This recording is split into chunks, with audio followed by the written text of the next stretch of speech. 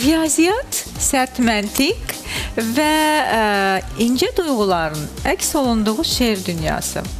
Biri beynimizin sol yarım kürəsi ilə bağlıdır, digəri sağ yarım kürəsi ilə bağlıdır. Hər beynimizin hər iki yarım kürəsini çalışdırmağa necə nail olursunuz?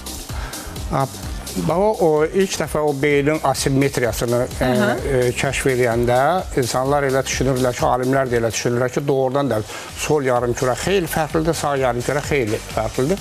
Amma məlum oldu ki, fərqlər olsa da hər bir qərar, hər bir hadisə ikisinin bir yerdə iştirakı ilə baş verir. Yəni heç heç nə tə, belə deyək ki, tək Bir bir, bir tərəfindən həll olunmur, belə deyək ki.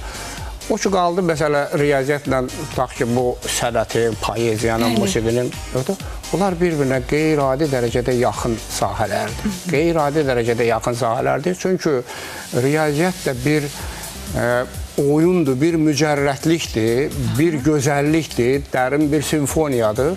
Şeir də, poeziya da o cürdür.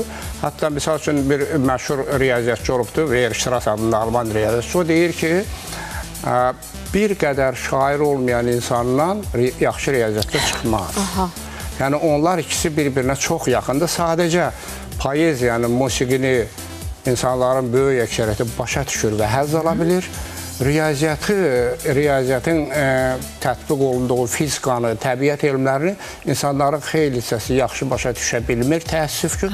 Amma onun gözəlliyi də çox gözəl. O sadəcə o pərdəni qaldırmaq biraz asan olmur. Hər adam qaldıra bilmir o gözəlliyə baxmaq üçün. Amma onlar bir-birinə çox yaxın sahələrdir.